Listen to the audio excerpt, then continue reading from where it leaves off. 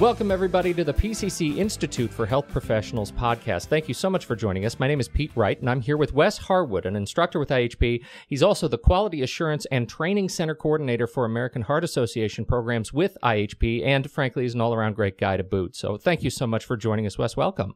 Uh, thank you. Good day. We are we're going to talk about uh, the American Heart Association programs that are available within IHP and and that you coordinate at the center there. What can you tell us about the courses from the the AHA that are available online and and offered through this sort of e-learning format uh, through IHP? Yes, that's a great question. This is an ever increasingly popular format for uh, some of the students of AHA programs, and we're proud to be a participant in there. There's actually several different courses available uh, online, uh, what we call the e-learning format. Uh, some are designed for general public, uh, the layperson be it, and uh, many are for the healthcare professional because there's many courses required for healthcare professionals. So uh, the e-learning format has been structured by American Heart Association and some of its vendors to meet the needs of a broad spectrum of people and uh, everything from CPR for uh, lay public family, friends, etc., right on up through the advanced level courses that uh, healthcare professionals looking for basic life support, advanced cardiac life support, pediatric advanced life support, et cetera. So uh, there's quite a broad range of courses available. You know, that I, I think that's fascinating. This idea of doing these sorts of classes online. Can you describe the online format and and uh, you know maybe talk about some of the advantages and differences from the traditional in-class offerings for those who might be expecting uh, to go work on a body somewhere? Sure, that's a great question. The online format uh, specifically as it's defined by the Heart Association, has uh, what we'll call a key. Uh, you, uh, one would purchase a key from a variety of different uh, locations. That is the online component. It's a, a, coded format so that it allows a person to enter the class of their choice. Uh, it can be an individual that purchases their own individual key, or it could be a group, like an employer who purchases a number of keys for their uh, employees, or it could be like us, a training center that because we offer those programs, we can order order those keys as well and make them available to our, our clients.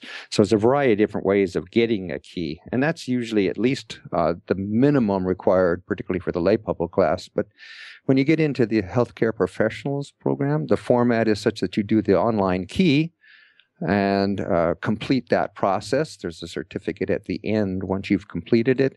And then you're eligible to do parts two and parts three, which is a, a practice skills session uh, on the skills that are specific to that course, followed by a, a skills sign off, skills evaluation. And that can be a couple of different ways. It can be through a uh, sometimes a mannequin based program or it can be with an instructor who actually checks you off on your skills. So there's three different levels, particularly at the healthcare professional level, but it's all meant to uh, be available and uh, be amenable to a person's schedule and work out really well for people who like that online learning learning environment. Well, and that that gets to the, the uh, you mentioned the mannequin testing and the instructor based mm-hmm. testing. How how does that work in an online format? Is there like mm-hmm. a local facility that they end up you know going to if they're say there's somebody in Pittsburgh who is who mm-hmm. is going through a class with IHP? Mm-hmm. How does that yes. work uh, logistically? Well, logistically again they're they're purchased in pieces so it really depends uh, people who are local let's just say to our center here would probably uh, opt to do the uh, certainly the key online at their their home or their business or their their office environment or the clinic environment. And and that's uh, a piece that they can do individually. And then they would arrange and there's a variety of different locations again through our training center would be a very good option for a lot of these people to come down and do the skills practice and the skills evaluation at our training center and we'd flex and bend around their schedule to try and find a, a convenient time that works. We have set times, uh, at least a couple times a month, that are, are, established that they could plug into those skills sessions. Uh, again, trying to work around people's schedules and, and take them away from work or their personal lives as little as possible, but still meet their needs of getting the training that they need. Okay, so in that way, it's a it's very much a hybrid program where you're doing a lot of the work on your own, and then when you have to be evaluated in some sort of physical context, you get to come to a center. Yes, yes, and then okay. there there are some centers who will set it up with a mannequin, depending again on the le- level of training needed, and some will be doing it uh, with an actual instructor. Absolutely. Well, okay. So, how do you handle uh, proof of completion or some sort of certification that that a student has graduated successfully? Well, the uh, certification is American Heart Association, and that's the beauty of this program. Is yes, they complete the course, and it has its own little certificate of completion to prove that they've done the online component. And then when you couple that with the skills, they're eligible to receive from uh, again, the vendor that sold them the product, uh, either the AHA directly or through the training center that's uh, overseeing it, they'll get an actual American Heart Association course completion card. This is identical and equivalent to anything they'd receive in an in-class format. So it's good for two years. Uh, they can stay on the same two-year cycle that they probably have been used to if they previously certified with the American Heart Association. So it's uh, again, uh, just another format to uh, get the training needed for their purposes. Well, I think that's a really important point that, uh, you know, when you say that this card that you get is identical to what you would get from an AHA in class uh, format, it doesn't say AHA online. It, there is no sort of diminutive of the full program. This is the full program. Uh, you know, this, you are getting the goods. Exactly, and, and, and that's the difference. Is in a traditional online class, or excuse me, in class format with an instructor, you're depending on the instructor to get you through the program. You're doing some prep work, etc. So, but you're also making a significant time commitment out of your day. Whereas here on the online, uh, for some people, it works much much better to do that self study version uh, with the online, and uh, their actual time commitment for demonstrating their skills comes down to that skills, which makes it a much more compatible for their uh, particular schedule, but they get exactly the same results as far as the card is concerned. So, uh, just to spin off that uh, uh, that angle here, what is it that consumers who are in search of AHA certification really need to look for when they're looking for the highest quality program that supports their training and their career? I mean, you, there are a lot of uh, of institutions that are talking about AHA certification. Why, uh, uh, you know, why why is does does the IHP program and, and implementation of AHA certification stand out? Oh, excellent question. You're you're absolutely right. The gold standard is the American Heart Association. Of course, I have a bias that way because I believe in the product that they produce. I believe in the science that they are intimately involved in.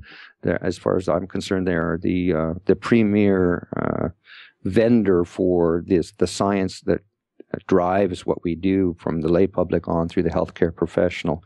And so it's very careful for and very important for the consumer to look for the fact that this is an actual American Heart Association training center or training site, a vendor that uh, it may be a public enti- a private entity that's tied to a training center who is also allowed to offer these courses, but it needs to be American Heart Association. There are people who say out there that we follow the American Heart Association or we offer uh, similar to, and a lot of different wordings, but it actually needs to be an American Heart Association site and vendor. And they can check that if they have any doubt of the validity of who they're talking to, they can just ask, are you an American Heart Association uh, approved site or, or, training center?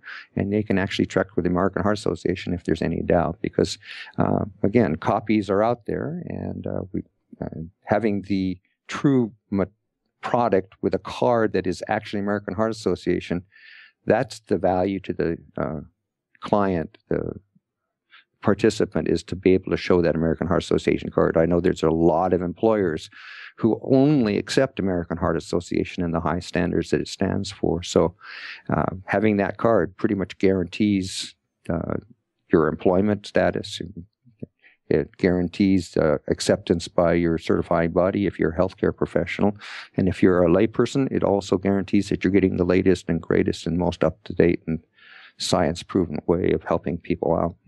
Well, and there is nothing more heartbreaking than looking at somebody who's gone through a training program and comes out not getting the official certification that they need for their career. It's just heartbreaking. So I think this is a uh, those are some great tips for for uh, sort of discerning which program is right for you and finding the programs that really stand out uh, for American Heart Association certification. Um, do the due diligence. I think is the bottom line. Absolutely. Uh, where can somebody learn more about the American Heart Association online courses that you uh, administer uh, so wonderfully? Well, actually, there's. Uh, I'll give two references. One is the American Heart Association itself. So, somebody wanted to hear more about these courses, what's available, whether it's lay public or uh, healthcare care professional, they can go directly to the American Heart Association www.onlineaha, all one word, onlineaha.org has a lot of information about all the courses that are available.